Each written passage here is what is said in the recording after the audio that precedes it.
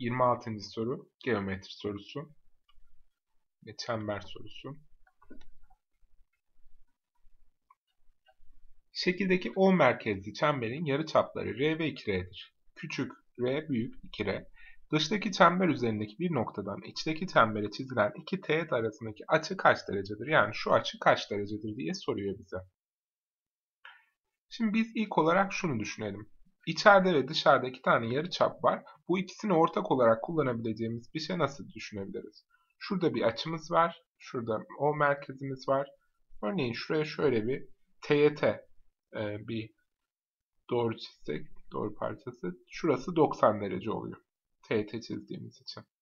Ve bunu şöyle açıyla birleştirdiğimizde şurası büyük üçgen, büyük çemberin yarıçapı oluyor 2R. Burası da küçüğün oluyor R.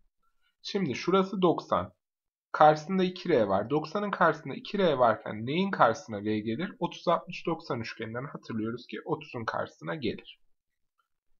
Şimdi burasının 30 derece olduğunu gördük.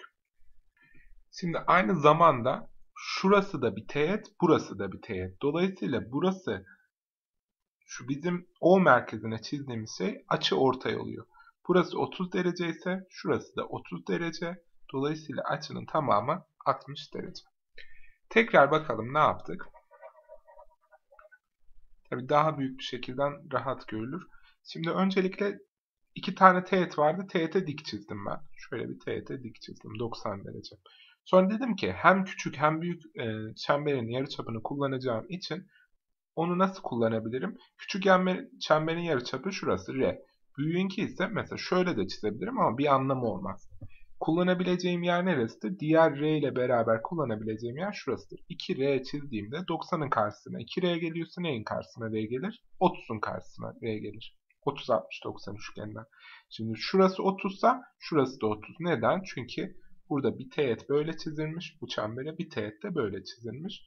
Dolayısıyla eşit açılar olacak. 30, 30 olarak O noktasına çizdiğim için bunu tam açıyı ortadan bölmüş olacağız. 30'a 30 olduğu için cevabımız 60.